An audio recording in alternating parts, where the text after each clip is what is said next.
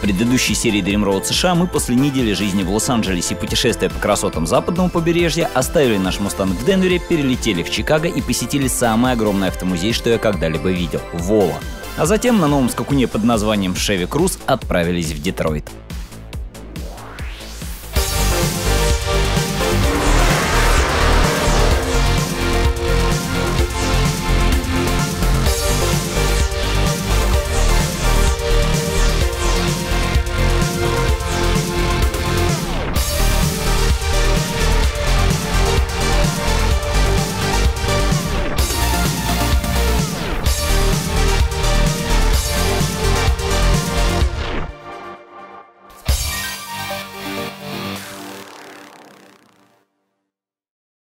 Спонсор нашего сериала – компания VMP Auto. Линейка Valena расширилась мастер-пеной для раскоксовки двигателя. Выкручивайте свечи, заполняйте камеру сгорания пеной, и в отличие от жидких раскоксовок, пена расширяется и очищает не только поршень, но и верхнюю часть камеры сгорания. Состав растворяет и размягчает отложения кокс и лаки, возвращая двигателю компрессию и адекватный расход масла. Да и много что можно чистить. Мастер пены Valena круче, чем жидкие раскоксовки.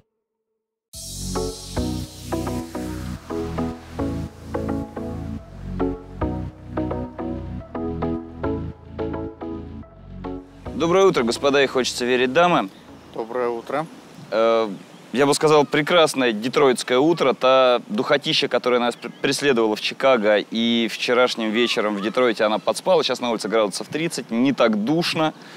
Воздух стал по суше. В общем, все замечательно. Ну, прекрасно выспались. Если бы не долбанные строители, которые решили отбойными молотками тут что-то на парковке попеределывать, наверное, прохрючили бы еще дольше. Сейчас у нас почти полдень уже.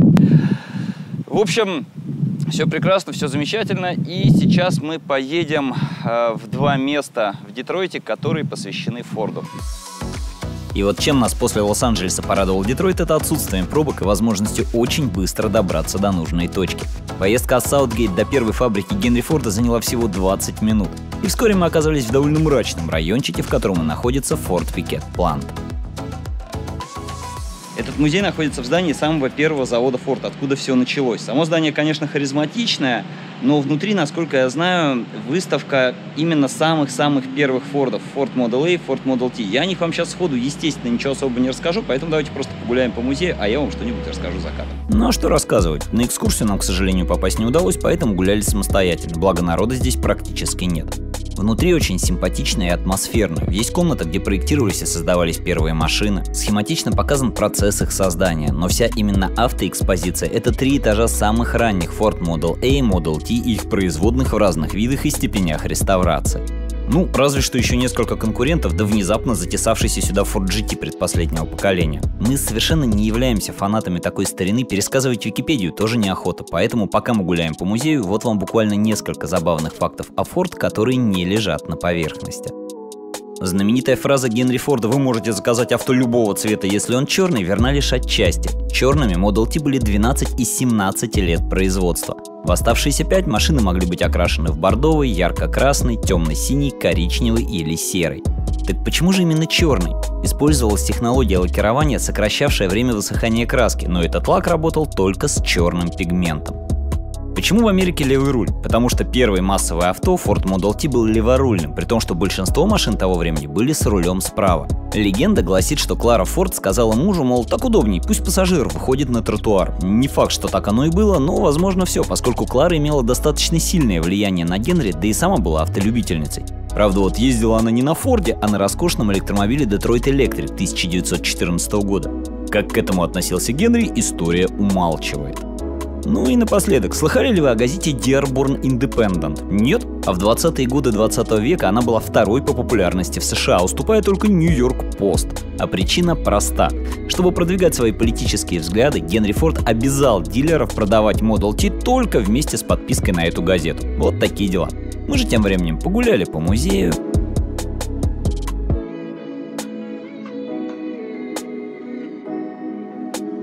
От скуки немного позанимались ерундой. Та-да! Закрывай. Саня лайк и босс, он за руль садиться не хочет, он хочет, чтобы его возили. Ну и вышли обратно на улицу. Вот такой вот, господа, э, отличный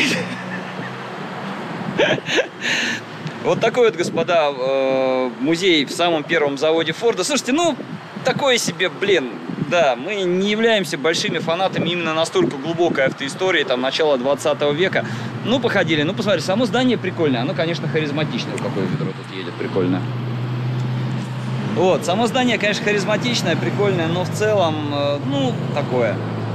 Ну, у нас сегодня в любом случае день Форда, поэтому мы сматываем удочки и едем в музей Генри Форда. Не знаю, что мы там увидим, но что-нибудь увидим.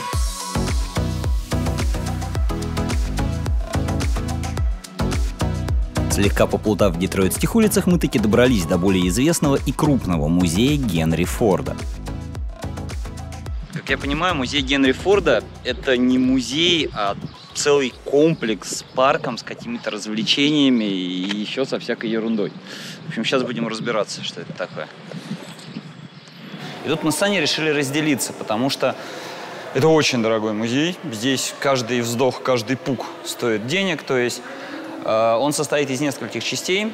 Музей автомобильных инноваций, в который я иду, туда вход стоит на человека 24 доллара. Вот. Э, Грин, Гринвич, по-моему, Village – это такая старинная деревенька, як, ну, псевдостаринная. Туда тоже вход стоит отдельных денег. Еще что-то туда тоже вход стоит отдельных денег. Поэтому я решил, что я пойду э, в музей автомобильных инноваций, а Сашка рванул тут рядом какой-то э, Hall of Fame, зал славы автомобильный. Вот, Сашка отправился туда. Мы сейчас, я пройду здесь, а дальше мы решим, стоит ли платить второй раз за этот самый Hall of Fame. В общем, господа, я сейчас переключусь опять в режим супер супернаблогера, только на этот раз на нормальную камеру, потому что здесь, слава богу, достаточно места. И мы с вами пройдемся и посмотрим этот музей моими глазами. Я понятия не имею, что я здесь вижу. Я вижу только, кажется, президентские автомобили, еще какие-то автомобили и какое-то старье. В общем, пойдемте смотреть. Начинается у нас все с очередного разобранного Model T.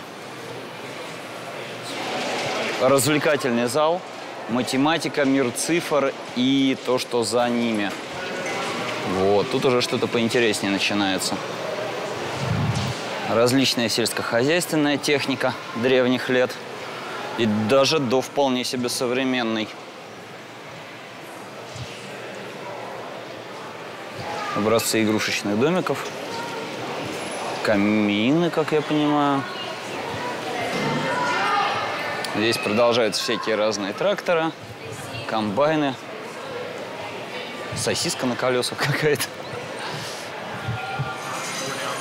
Ездящая сосиска. Нифига себе, вот на такой фигне я бы хотел разок проехаться. Паровой трактор, блин. Вещь не маленьких размеров. Ну, это все какая-то фигня, короче. Неинтересно. Какая-то мебель старинная. Тоже какая-то лабуда. Блин, вообще какая-то фигня, короче. Вообще неинтересно. За что я заплатил 24 доллара? Старые шоу 80-х годов какие-то. Плакат The Cure, Боб Марли, Депиша. Типичная подростковая комната 80-х годов, я подозреваю. Ужасно увлекательно. Магнитофон. О, а вот компьютер прикольный. Таких я еще не видел. Это Apple первый, я подозреваю. Вау. Дека и проигрыватель винила. Принтер матричный. Моя подростковая комната выглядела похоже, но чуть-чуть по-другому. Хочу MTV. А, попро попробуй себя ведущим. Понятно. Нефтяная вышка. Натуральную величину. Я подозреваю, что нефтяная. Еще одна, еще одна, еще одна. Что это вообще такое гигантское? Короче, это какой-то гигантский генератор, стоявший на заводе Форда, который что-то там генерировал. Это пароходный паровой двигатель. Вот. Паровые двигатели еще одни. Так, герои неба. Ну ладно, тут хотя бы самолеты. Это у нас самолет северо-восточных авиалиний. Опять же, в натуральную величину. Ходить по нему нельзя, в отличие от музея в Зенсхайме или в Шпайере. Ну, да, тут не так просто это будет подснять. Ну, в общем, различные старинные самолеты.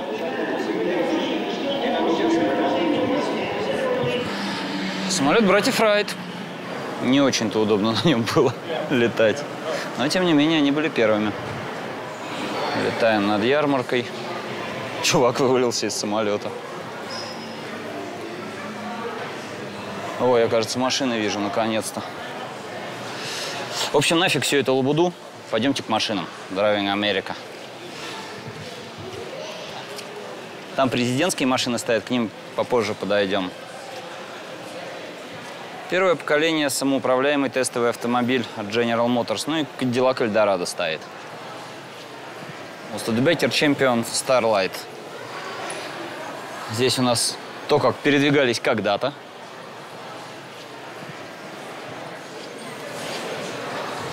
Дилижансы и прочие штуки. Здесь у нас стоит Chevrolet Bel Air кабриолет. И такая небольшая реклама Макдональдса. 1865 год. Ропер на паровом двигателе. Квадрицикл Форда. 1896 год. Ну и поехали. Здесь всякое разное старье. Олдсмобиль, Локомобиль. Машина Томаса Флайера. Холсман. Я иду на ходу читаю. Ford Model N. Чувак, жующий шоколадку. Ford Model T. Chrysler.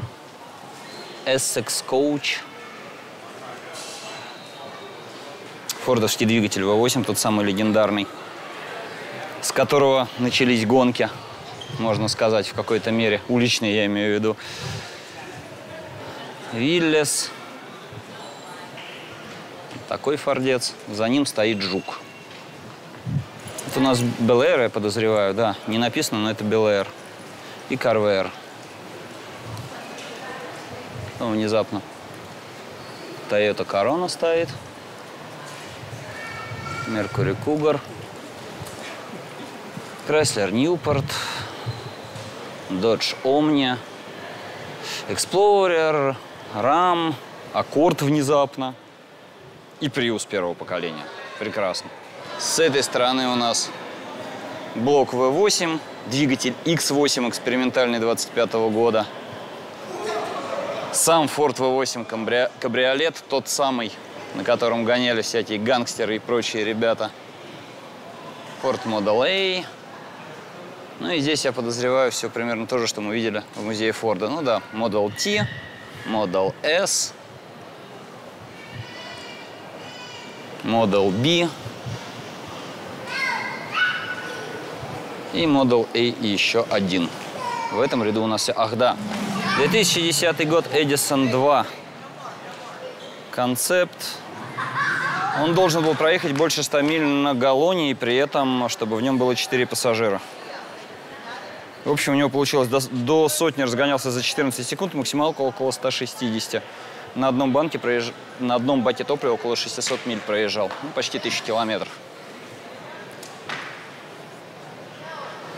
Ух ты! А это прототип Мустанга, судя по всему. Интересно. Да, первый Мустанг, ну, 62 год, Мустанг 1 Roadster.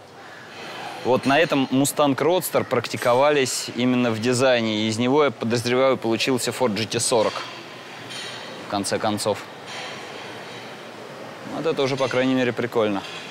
Здесь у нас модельки всяких разных прототипов.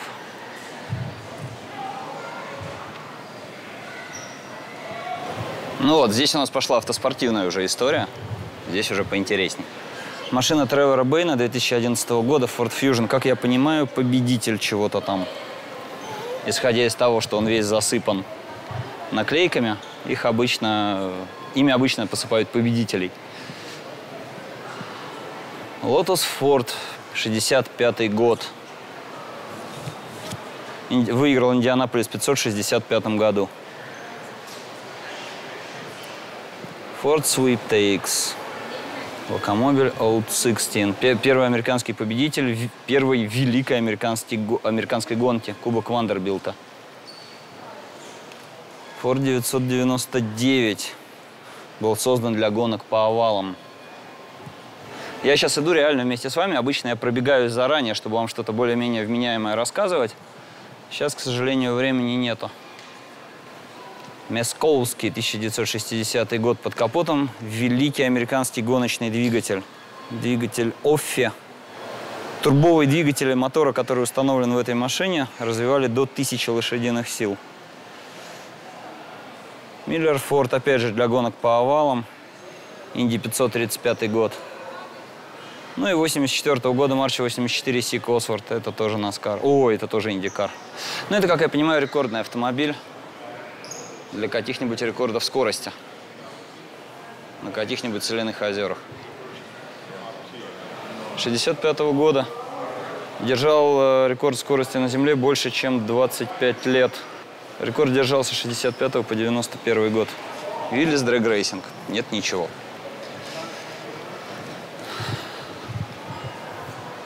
Вот это Ford GT40 гоночный. И, кстати, весьма похоже, что это оригинальная машина. Ford Mark 4.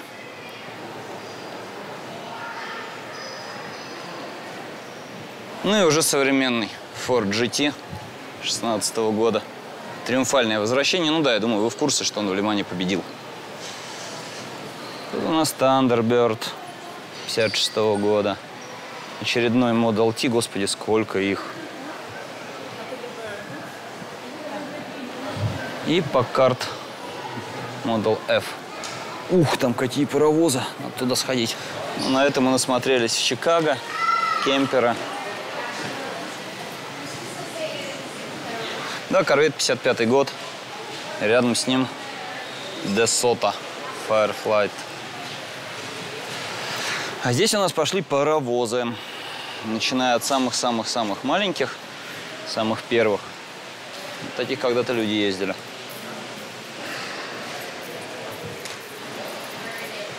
И заканчивая вот такими вот гигантами. Даже в камеру не помещается.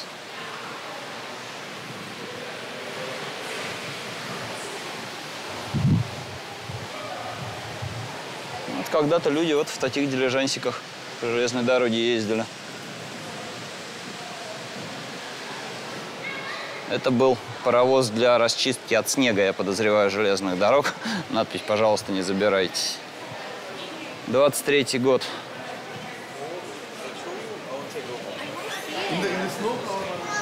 Еще немножко паровозов.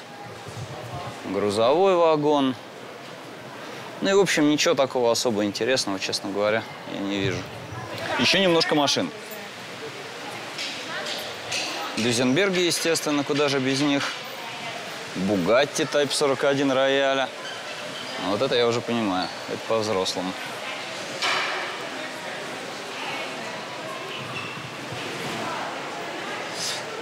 Это корт наверняка. Да, корт 812. Настолько своеобразные машины узнаются просто вот сразу же, с первого взгляда.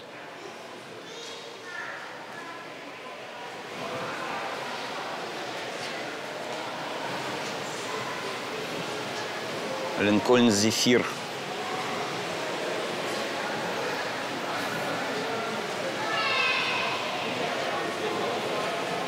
Тысяча девятьсот восьмой год Стивенс Дария Model U лимузин. Внезапно еще один аккорд. А рядом вот такая вот забавная Scripps Booth Rocket.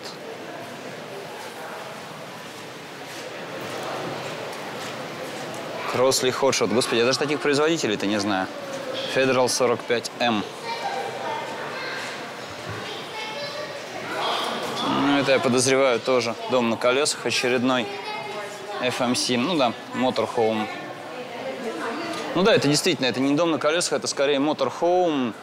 То есть э, автобус для гоночной команды. Там сзади он места под запчасти и так далее. Электрический грузовик. 1900 года, между прочим.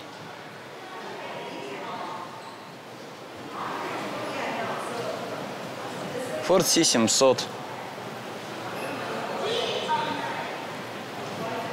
Это тоже что-то электрическое? Автобус «Рапид». Разгонялся до 15 миль в час в 1906 году. Школьный автобус 1927 хм, года. Бьюик Ля Саль, я подозреваю, здесь написано просто Ля Саль. Кадиллак Ля Саль, да, простите.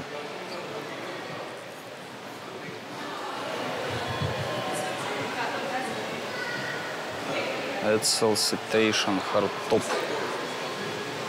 Блин, обалдеть, такие названия я вообще вообще не знаю, что это. Тайкер 48-й. Красивый. С тремя фарами, все дела. Пара трамвайчиков и детская железная дорога. Нет, я до туда дойду. Тоже люблю это дело. Тут вам Педрезинка маленькая, и поезда ходят, и все такое прочее.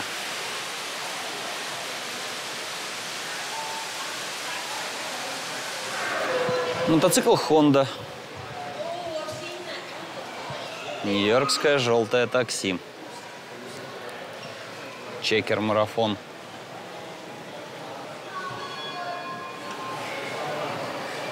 Это, я подозреваю, автомобиль-заправщик. Cornell Liberty Safety Car. Это автомобиль, который был создан для того, чтобы быть максимально безопасным. Интересное очень расположение кресел. Панорамное лобовое с четырьмя дворниками, с пятью дворниками. Вот так видели безопасность в 1957 году. Дальше идет выставка транспортных средств президентов Соединенных Штатов. На этом передвигался Тедди Рузвельт.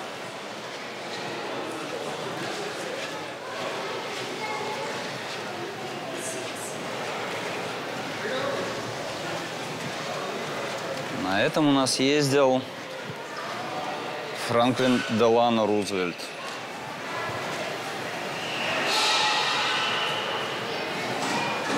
Это Дуайта Эйзенхауэра машина, Линкольн 50-го года.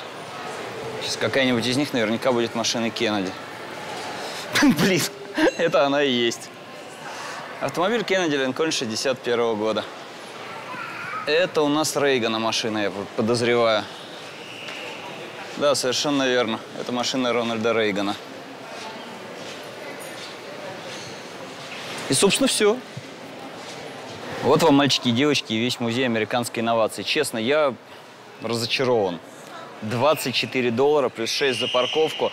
Ну, если вы не ходили ни по каким другим э, музеям, то, наверное, вас это впечатлит. Честно, площади огромные, а чего-то такого, от чего я бы сказал, ух ты, к сожалению, я так и не увидел. Ну, тем не менее, надеюсь, вам из этого хоть что-нибудь было интересно. Сейчас пойду на выход и узнаю, что же там в автомобильном зале славы, что там Саня насмотрел. Что я вам хочу сказать, господа, мы правильно сделали, что разделились, потому что, как говаривал один небезызвестный мемный персонаж из э, мемного ролика на YouTube, что то, что другое. И это обе такие, ну, короче, вы поняли. Короче, я в музее сделал 5 фотографий. Да, Сашка пошел в музей Hall of Fame. Э, давай в двух словах расскажи, что это такое. Ну, это музей знаменитостей, связанных с э, Генри Фордом и, наверное, даже с американской культурой, потому что, ну, там собрано все и ничто. То есть, как бы, ко мне подошла тетка, она провела меня, она мне про... сделала... 10, за 10, за 10 баксов, баксов провели экскурсию. Да, экскурсию сделали, но о чем она? Я чест, тщетно пытался по-английски был настолько плохо. Да, наверное, наверное, это так, что я не понял э, суть всей экскурсии, то есть обо всем по чуть-чуть. Ну и вот это у нас было, и вот это у нас меняло, и о дорогах, и о машинах, и вот мы еще в электрических машинах, а еще мы в Peugeot, а еще мы в Хонде, а еще мы в Мерседесе, а еще, ты знаешь, почему Тойода была?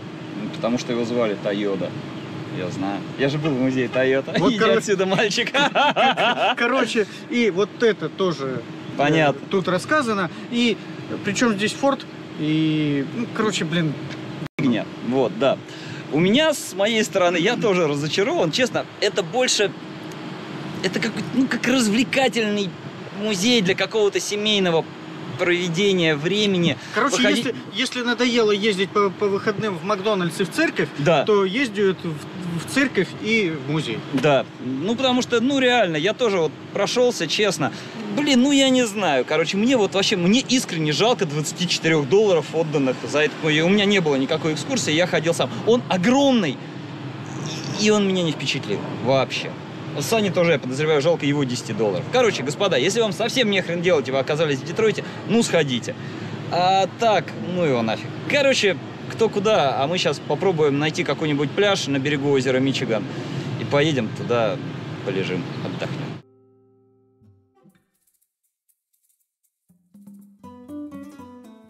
Добрый вечер, господа.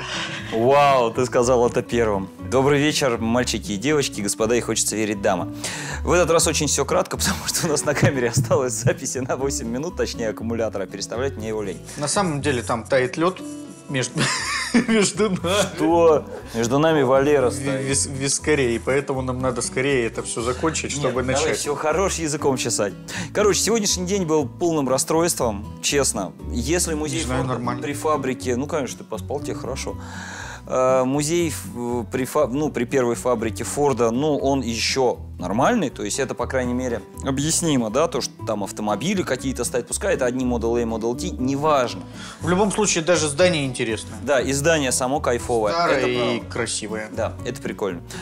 Музей Генри Форда, ну, я уже это сказал во влоговой части, повторюсь еще раз. Если вы никогда не были в технических музеях, ну, сходите. 24 доллара, мне, честно, очень жалко. И 6 за парковку, за которую нас даже не спросили. Да, блин, то есть ты приходишь, тебе говорят, вы машину запарковали, говоришь, да, давайте 6 долларов. И у тебя их даже никто не проверяет, мать твою. Это, конечно, было обидно. Еще Санина десятка как раз. Вот у нас и набежало 40 долларов ни о чем. Ну, блин, в любом случае, вот взять тот же музей Зинсхайма, уже многократно мною помянутый в течение сегодняшнего дня, там ты получаешь удовольствие, там это прям круто. А здесь ничего, за что взгляд бы зацепился. То есть каких-то необычных машин, ну, кроме вот прототипа Мустанга. Никаких необычных машин. Вот, ну, я никаких эмоций не получил, честно, от посещения этого музея.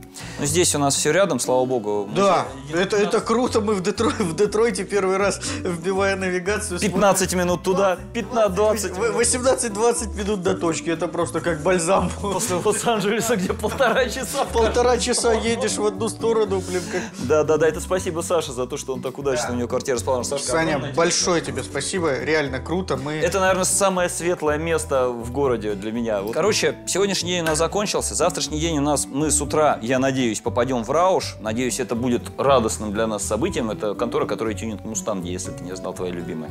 И после этого мы резко стартуем э, в 500-километровый маршрут до Индианаполиса, штат Индиана, где находится музей Индикара, а также легендарная старая кирпичница Инди 500. И тюрьма, в которой сидел Джон Диллиджер. Вот об этом я не знал внезапно. Это не по сценарию было. ну и хорошо. Огромное спасибо, Саша. Огромное спасибо, Валере. Огромное, компа- э, огромное спасибо компании ВМП Авто за то, что у нас есть такая потрясающая возможность э, путешествовать по Америке, пожить вот в доме американском. Ну, это круто, на самом деле. Это прикольно. Это, наверное, самое приятное место, наверное, после Вегаса все-таки, наверное. В Вегасе был безумно крутой отель, но здесь тоже офигенский. Вот, вот Тихо, спокойно Вот и, вот. и по кайфу. И самое прекрасное это, это то, что мы можем сами себе приготовить. приготовить покушать. Было сегодня крайне приятно ходить по магазину и покупать, Покупать нормальную еду, купить, да, которую можно приготовить и поесть. Да, разогреть, покушать. Мы супчики даже поели сегодня, второй раз за всю поездку. Сан- Ссаные Бургеры. бургеры. бургеры. Мы ненавидим фастфуд уже просто. Короче, вот такие пироги у нас, господа. Спасибо вам, что смотрите. Надеюсь, что смотрите. Э, Собственно, подписывайтесь на канал, ставьте лайки, оставляйте адекватные комментарии и вся прочая пруга, которую несут профессиональные блогеры. Все, господа, мы собираем манатки и завтра утром заскакиваем в Рауш и стартуем в Индианаполис. Пока. До свидания. В следующей серии Dream Road США мы окончательно разочаруемся в Детройте и покинем его, отправившись на старую кирпичницу Индианаполис. И вот там нам внезапно очень повезет с экскурсией. Не переключайтесь.